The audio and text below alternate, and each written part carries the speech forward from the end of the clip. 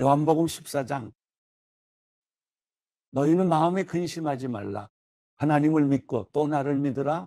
내 아버지의 집에는 있을 곳이 많다. 그렇지 않았다면 너희에게 미리 말해 두었을 것이다. 나는 너희가 있을 곳을 마련하러 간다.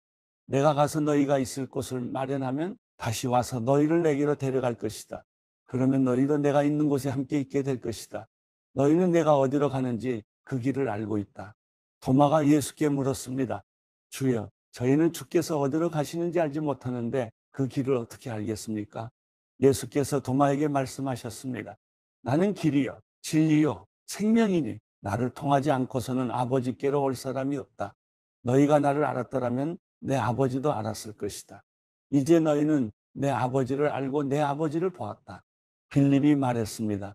주여, 우리에게 아버지를 보여주십시오. 그러면 저희가 더 바랄 것이 없겠습니다.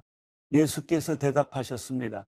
빌리바, 내가 그렇게 오랫동안 너희와 함께 있었는데도 내가 나를 모르느냐? 누구든지 나를 본 사람은 아버지를 본 것이다. 그런데도 내가 어떻게 우리에게 아버지를 보여주십시오라고 말하느냐? 내가 아버지 안에 있고 아버지가 내 안에 계시다는 것을 믿지 못하느냐? 내가 너희에게 하는 말은 내 말이 아니다. 오직 살아계시는 아버지께서 내 안에 계시면서 자신의 일을 하시는 것이다. 내가 아버지 안에 있고 아버지께서 내 안에 계시다는 것을 믿어라. 믿지 못하겠거든 내가 행하는 그 일들을 보아서라도 믿어라. 내가 진실로 진실로 너희에게 말한다.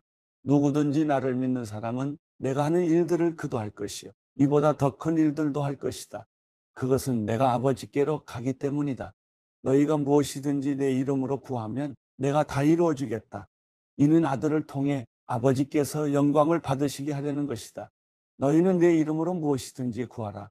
그러면 내가 다 이루어 주겠다. 너희가 나를 사랑한다면 내 계명을 지킬 것이다. 내가 아버지께 구할 것이니 아버지께서 너희에게 다른 보혜사를 보내셔서 너희와 영원히 함께 있도록 하실 것이다. 그분은 진리의 영이시다. 세상은 그분을 볼 수도 없고 알 수도 없기 때문에 그분을 받아들일 수가 없다. 그러나 너희는 그분을 안다. 그분이 너희와 함께 계시고 또 너희 안에 계실 것이기 때문이다. 나는 너희를 고아처럼 내버려 두지 않고 너희에게 다시 오겠다. 조금 있으면 세상은 나를 보지 못하겠지만 너희는 나를 볼 것이다. 내가 살아있고 너희도 살 것이기 때문이다. 그날에 너희는 내가 내 아버지 안에 있고 너희가 내 안에 있으며 내가 너희 안에 있음을 알게 될 것이다. 누구든지 내 계명을 가지고 지키는 사람은 나를 사랑하는 사람이다. 나를 사랑하는 사람은 내 아버지의 사랑을 받을 것이고 나 또한 그 사람을 사랑하고 그 사람에게 나를 나타낼 것이다. 그러자 가련 유다가 아닌 다른 유다가 말했습니다. 주여, 주께서 우리에게는 자신을 나타내시고 세상에는 자신을 나타내지 않으시는 까닭이 무엇입니까? 예수께서 그에게 대답하셨습니다. 누구든지 나를 사랑하는 사람은 내 말을 지킬 것이다. 그러면 내 아버지께서 그 사람을 사랑하실 것이요. 아버지와 내가 그 사람에게로 가서 그와 함께 살 것이다. 나를 사랑하지 않는 사람은 내 말을 지키지 아니한다. 너희가 듣고 있는 이 말은 내 말이 아니라 나를 보내신 아버지의 말씀이다. 이런 말은 내가 너희와 함께 있을 때 말했다. 그러나 보혜사 곧 아버지께서 내 이름으로 보내실 성령께서 너희에게 모든 것을 가르쳐 주실 것이며 내가 너희에게 말한 모든 것을 생각나게 하실 것이다. 내가 너희에게 평안을 주고 간다. 곧 내 평안을 너희에게 준다. 내가 주는 평안은 세상이 주는 것과 같지 않다.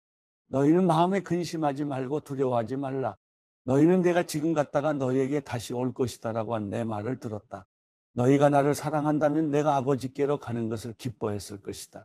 아버지는 나보다 크신 분이기 때문이다. 내가 지금 이 일이 일어나기 전에 너희에게 말해 두는 것은 이 일이 일어날 때 너희로 하여금 믿게 하려는 것이다. 나는 너희와 더 이상 길게 말을 나눌 수 없다. 이 세상의 통치자가 가까이 오고 있기 때문이다. 이 세상의 통치자는 나를 어떻게 할 아무런 권한이 없다. 다만 내가 아버지를 사랑한다는 것과 아버지께서 내게 명령하신 대로 내가 행한다는 것을 세상에 알리려는 것이다. 일어나라. 이제 여기를 떠나자. 요한복음 15장. 나는 참포도나무요. 내 아버지는 농부이시다. 내게 붙어 있으면서도 열매를 맺지 못하는 가지는 아버지께서 다 자르실 것이요. 열매를 맺는 가지는 더 많은 열매를 맺도록 깨끗하게 손질하신다. 너희는 내가 너희에게 말한 그 말로 인해 이미 깨끗해졌다. 내 안에 머물러 있으라. 그러면 나도 너희 안에 머물러 있을 것이다. 가지가 포도나무에 붙어 있지 않으면 스스로 열매를 맺지 못하는 것처럼 너희도 내 안에 있지 않으면 열매를 맺을 수 없다. 나는 포도나무요. 너희는 가지다.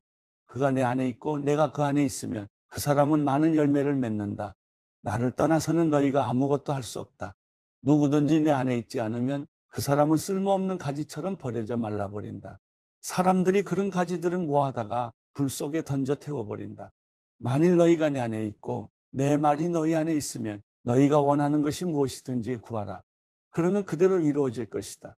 너희가 열매를 많이 맺으면 내 제자가 되고 이것으로 아버지께서 영광을 받으실 것이다. 아버지께서 나를 사랑하신 것처럼 나도 너희를 사랑했다. 너희는 내 사랑 안에 머물러 있으라. 내가 내 아버지의 계명을 지키고 아버지의 사랑 안에 있는 것 같이 너희도 내 계명을 지키면 내 사랑 안에 있을 것이다. 내가 이것들을 너희에게 말한 것은 내 기쁨이 너희 안에 있어 너희 기쁨이 충만하게 하려는 것이다. 내 계명은 이것이다. 내가 너희를 사랑한 것과 같이 너희도 서로 사랑하라. 사람이 자기 친구를 위해 목숨을 내놓는 것보다 더 큰 사랑은 없다. 너희가 만일 내 계명을 지키면 너희는 내 친구다. 나는 이제부터 너희를 종이라고 부르지 않겠다. 종은 주인의 일을 알지 못하지만 나는 너희에게 내 아버지께 들은 것을 모두 알려줬으니 친구라고 부르는 것이다. 너희가 나를 택한 것이 아니라 내가 너희를 택해 세운 것이다. 그것은 너희가 가서 열매를 맺어 그 열매가 계속 남아있게 하려는 것이다. 그러므로 너희가 무엇이든지 내 이름으로 구하면 아버지께서 너희에게 주실 것이다. 내가 너희에게 명하는 것은 이것이다. 너희는 서로 사랑하라. 만일 세상이 너희를 미워하거든 너희보다 먼저 나를 미워했다는 것을 알라. 만일 너희가 세상에 속해 있다면 세상이 너희를 자기 것으로 여기고 사랑할 것이다. 그러나 너희는 세상에 속해 있지 않고 내가 세상에서 너희를 택했으므로 세상이 너희를 미워할 것이다. 내가 너희에게 종이 주인보다 더 높지 않다고 한 말을 기억하라. 사람들이 나를 핍박했으니 너희도 핍박할 것이요. 사람들이 내 말을 지켰으니 너희 말도 지킬 것이다.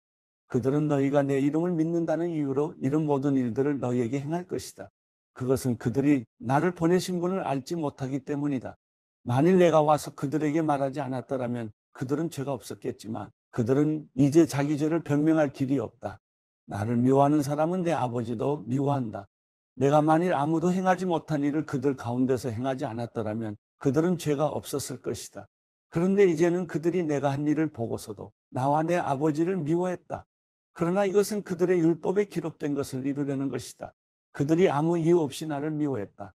내가 아버지께로부터 너희에게 보낼 보혜사, 곧 아버지께로부터 오시는 진리의 성령이 오시면 그분이 나에 대해 증언해 주실 것이다. 너희도 처음부터 나와 함께 있었으므로 내 증인들이 될 것이다. 요한복음 16장 내가 이 모든 것을 너희에게 말한 것은 너희가 믿음에서 넘어지지 않게 하려는 것이다. 사람들이 너희를 회당에서 쫓아낼 것이다. 그리고 너희를 죽이는 사람마다 자신이 하는 일이 하나님을 섬기는 일이라고 여길 때가 올 것이다. 그들은 아버지나 나를 알지 못하기 때문에 그런 일을 할 것이다. 내가 너희에게 이런 것들을 말하는 것은 그때가 되면 내가 한 말을 너희로 기억하게 하기 위함이다. 또 내가 처음부터 너희에게 이런 것들을 말하지 않은 것은 내가 너희와 함께 있었기 때문이다. 이제 나는 나를 보내신 분에게로 간다. 그러나 너희 중에 어디로 가십니까? 라고 묻는 사람이 없고 도리어 내가 한 말 때문에 너희 마음에 슬픔이 가득하구나. 그러나 내가 진실로 진실로 너희에게 말한다. 내가 떠나가는 것이 너희에게 유익하다. 내가 떠나가지 않으면 보혜사가 너희에게 오시지 않을 것이다. 그러나 내가 가면 너희에게 보혜사를 보내주겠다. 보혜사가 오시면 죄에 대해, 의에 대해, 심판에 대해 세상을 책망하실 것이다.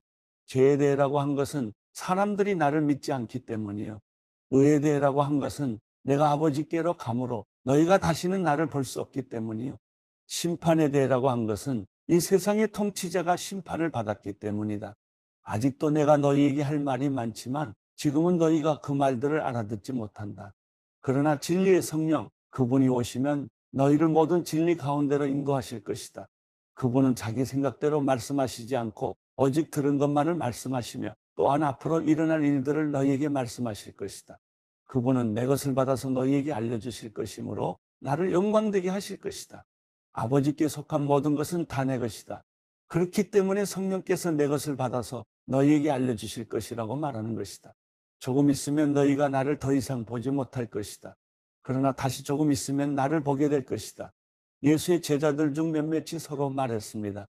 조금 있으면 너희가 나를 더 이상 보지 못하겠고 다시 조금 있으면 나를 보게 될 것이다라고 하시면서 내가 아버지께 가기 때문이다라고 하시는데 이게 도대체 무슨 말씀인가?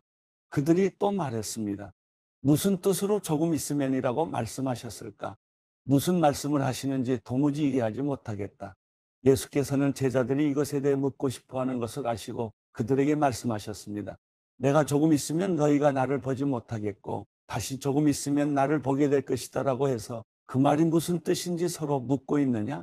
내가 진실로 진실로 너희에게 말한다. 너희는 울며 애통할 것이나 세상은 기뻐할 것이다. 너희가 슬퍼하게 될 것이나 너희의 슬픔은 기쁨으로 변할 것이다. 여인이 출산할 때는 걱정에 잠기게 된다. 진통할 때가 가까웠기 때문이다. 그러나 아기가 태어나면 사람이 세상에 태어났다는 기쁨 때문에 더 이상 그 고통을 기억하지 않는다. 너희도 이와 같다. 너희가 지금은 슬퍼하지만 내가 너희를 다시 볼 때는 너희가 기뻐할 것이요. 또 너희 기쁨을 빼앗을 사람이 없을 것이다. 그날에는 너희가 내게 어떤 것도 묻지 않을 것이다. 내가 진실로 진실로 너희에게 말한다. 너희가 무엇이든 아버지께 구하면 아버지께서 내 이름으로 주실 것이다. 지금까지는 너희가 내 이름으로 아무것도 구하지 않았다. 그러나 구하라. 그러면 받을 것이니 너희 기쁨이 충만해질 것이다. 지금까지는 내가 이것을 비유로 말했지만 더 이상 비유로 말하지 않고 내 아버지에 대해 분명하게 말할 때가 올 것이다. 그날에는 너희가 내 이름으로 아버지께 구할 것이다. 내가 너희를 위해 아버지께 구하겠다는 말이 아니다. 아버지께서는 너희를 친히 사랑하신다. 아버지께서 너희를 친히 사랑하시는 것은 너희가 나를 사랑했고 내가 아버지께로부터 왔음을 믿었기 때문이다. 내가 아버지께로부터 이 세상에 왔다가 이제 다시 이 세상을 떠나 아버지께로 돌아간다. 그러자 예수의 제자들이 말했습니다. 이제 주께서 비유를 들지 않고 명확하게 말씀하시니 주께서 모든 것을 알고 계시고 또 어느 누구의 질문도 받으실 필요가 없음을 저희가 알았습니다. 이것으로 우리는 주께서 하나님께로부터 오신 것을 믿습니다. 예수께서 제자들에게 대답하셨습니다. 이제야 너희가 믿느냐? 보라, 너희가 흩어져 각자 집으로 돌아갈 때가 오고 있고 또 이미 왔다. 너희는 나를 버려두고 모두 떠나갈 것이다. 그러나 나는 혼자 있는 게 아니다. 아버지께서 나와 함께 계시기 때문이다. 내가 너희에게 이런 것들을 말하는 것은 너희가 내 안에서 평안을 누리게 하려는 것이다. 너희가 이 세상에서는 고난을 당할 것이다. 그러나 담대하라. 내가 세상을 이미 이겼다.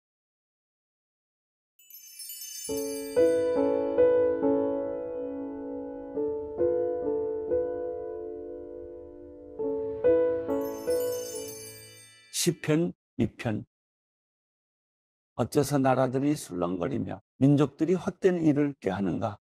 세상의 왕들이 자기를 내세우고 통치자들이 모여 여호와와 그 기름 부음받은 일을 거스르며 저들의 사슬을 끊자 저들의 족쇄를 던져버리자 하는구나.